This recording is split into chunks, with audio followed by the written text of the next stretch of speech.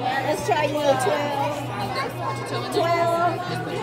Awesome. Go over to the table and color your shoes. Any color you want to. Okay. Today at Wesley Elementary, communities in schools Houston, Skechers, Bob's, Gorman's, and Souls for Soul have come out, donated not only their time and services, but they've donated shoes to every student. They've donated gift cards and toys to every student on this day of giving.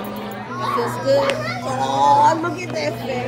As the principal of Wesley, I'm forever grateful for, you know, we, we realize that people have hectic and busy schedules, but they've made the time to come out, take time to help each and every one of our students on campus so every student is walking away from pre-K to fifth grade with something in their hand. This is what the school community is all about.